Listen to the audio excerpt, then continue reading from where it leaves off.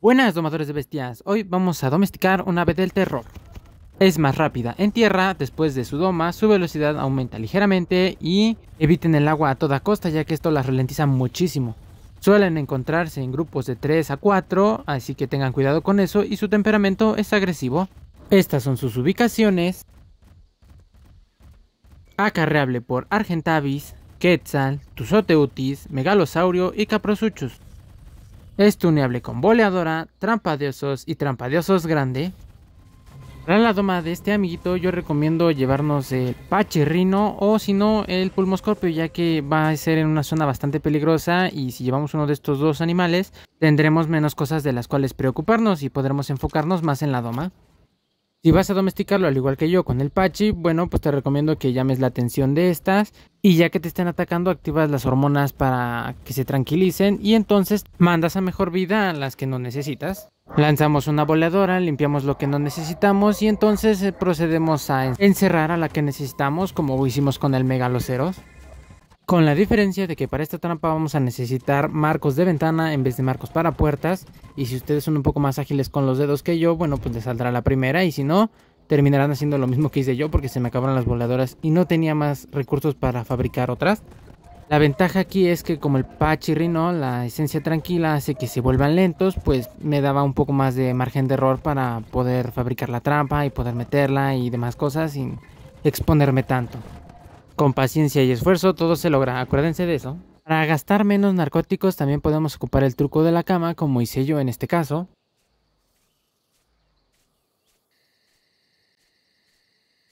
Un nivel 150 con un arma calidad primitiva, estos son los tranquilizantes necesarios. Y estos los ayudantes de tameo.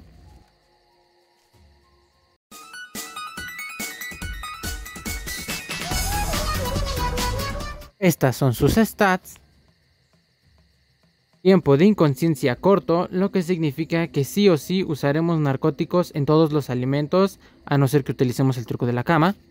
Alimento más eficiente, el kibble de Calle Mimus, 5 piezas por 12 minutos, aquí su receta. Carne Prime cruda, 11 piezas por 16 minutos. Carne Prime cocinada, 22 piezas por 33 minutos. Carne de pescado prime 28 piezas por 21 minutos. Y mi última recomendación, carne cruda 33 piezas por 49 minutos. También podemos darle carne cocida, carne de pescado y carne de pescado cocinada, pero no los recomiendo ya que, vaya, con los que les di es suficiente. Esta es la receta de su y es preferido por rinoceronte lanudo. Todavía no terminaba mi explicación y se terminó de tamear para que vean lo eficiente que es. Su montura se desbloquea al nivel 33, se fabrica desde nuestro inventario, estos son sus materiales y se pueden utilizar armas encima de la montura. Por mejor vida nos dropeará carne cruda y ocultar y un nivel 150 nos dará 254 puntos de experiencia aproximadamente.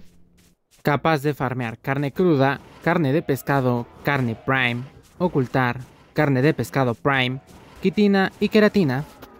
Puede dañar estructuras de madera y paja. Corriendo los raptores no nos alcanzan, pero sí pueden desmontarnos si nos quedamos quietos. Solo cuenta con el ataque base, pero tiene la capacidad de planear cuando realiza un salto o cuando cae de un lugar alto y tener cuidado ya que este gasta estamina. Por esa característica, más la maniobrabilidad que ésta posee y el daño mayor al de un raptor, podemos usarlo de explorador, subiéndole la velocidad, resistencia y según tu elección, salud, daño o peso. O, por su velocidad y agilidad, puede ser usada como montura de francotirador, subiéndole el peso y la estamina, y si lo deseas, la velocidad. También destaca en la obtención de carne prime, subiéndole la salud, estamina, daño y peso. Y eso sería todo. Siguiente criatura, el Doedicurus. El mejor farmeador de piedra. Nos vemos.